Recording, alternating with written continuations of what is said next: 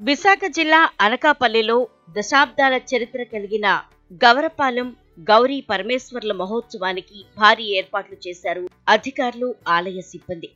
ఉత్సవాల్లో భాగంగా అమ్మవారికి వార్షిక కళ్యాణం నిర్వహించారు.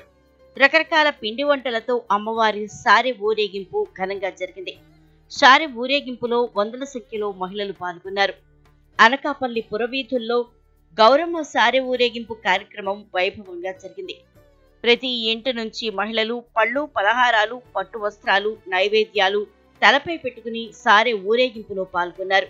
అమ్మవారికి సారె సమర్పించారు.